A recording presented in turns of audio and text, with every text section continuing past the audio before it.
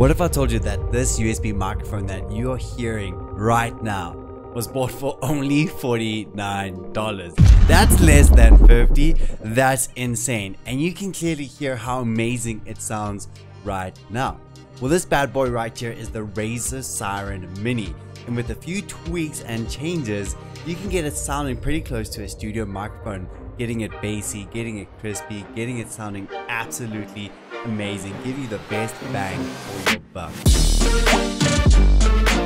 So to get our Razer Seiren Mini sounding absolutely incredible, the first thing we want to do is get it as close to our mouth as possible. Right now, I have taken it apart and I'm actually holding it close to my mouth, just simulating what it would be like having it on a boom arm. Right now, I'm currently missing an attachment that I need to connect it to my boom arm. So I'm actually going to make a makeshift version where I'm actually to just like tie it to my boom arm and just get it as close to my mouth as possible. The second thing you want to do is make sure you're talking into it, into the front of it.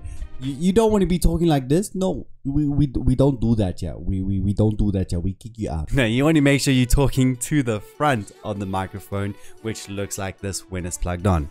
Okay, perfect. We've got it on a boom arm. We've got it close to our mouth. Now that is going to make it sound better in every single platform from Discord, from TeamSpeak, from in-game. It's going to make a huge difference there already. Here's a bit of a comparison of having it on a desk versus having it on a boom arm. When it's on the desk, it's pretty far away from you and it's going to be picking up a lot more echo. If I were to just tap my desk, you're more likely to hear that. If I click my mouse, you're likely to hear that. So that is just something to keep in mind. It's why you should put it on a boom arm as soon possible.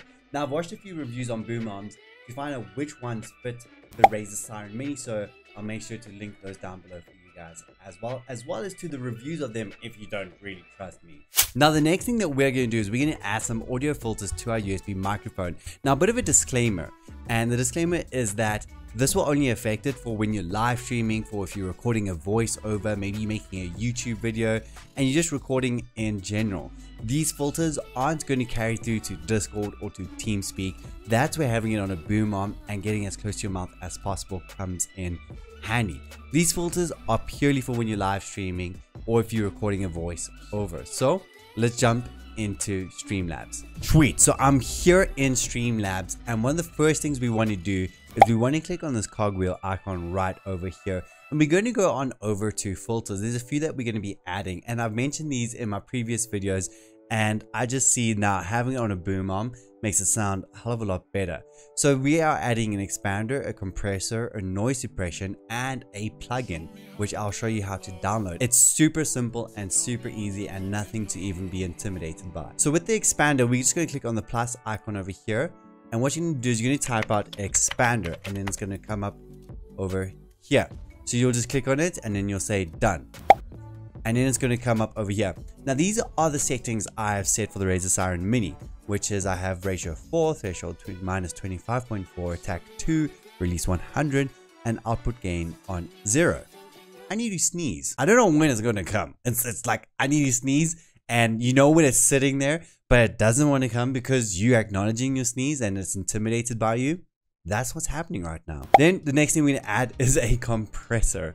So we set that to 4 minus 13.5, 213, and none. The next one's going to be a bit of a noise suppression, which will take out a lot of the, the reverb in your room or some of those annoying sounds that can get picked up by the microphone since there's no additional settings on the microphone like volume control. So I've set mine to minus 8. Now the next thing we're going to be adding is a plugin called Marvel GEQ and it's super simple and quick to download and install. I'll make sure the link is in the description below you're just going to download that, run through the installation process. Once it's finished installing, you're just going to close your OBS or Streamlabs OBS and then reopen it. And then when you come over here to the plus icon and if you type in VST, this plugin will pop up and you're just going to click on that and then click done. And then here, what's going to happen is you're going to select marvelgeq.dll. And what's amazing about this plugin is you can give your voice more bass, you can take away bass, you can raise the pitches, you can lower the pitches. It's all fully in your control, but check here. So if we click open plugin interface, it's going to show up over here. Let me bring it over to my screen. Now I've already got mine set to what I use it at. But if you just click on presets, I've got mine on brighter and bassy and you just click there and you click activate and then click this X icon, boom, it sets it up here. Here's a bit of an example of what happens when we start tweaking all the values. And this is how my voice will change with each one. I know a lot of it's going to make me sound pretty weird and pretty wonky, but you know, just to kind of show you how much control you have. And if you were to raise up these controls, just to show you how it changes my voice and you can mess around with this and have some fun and you can get yourself sounding pretty weird and crazy. But I just simply I click on presets I activate bright and bassy and I'm happy with this preset. For me it sounds the best. I get the best EQ and sounding pretty dope to close this all you gotta do is click the close plugin interface and then click done. Now whenever you open up your Streamlabs OBS that plugin interface is going to open up with it. And there you just always have to make sure that you set it to the the brighter and bassy preset.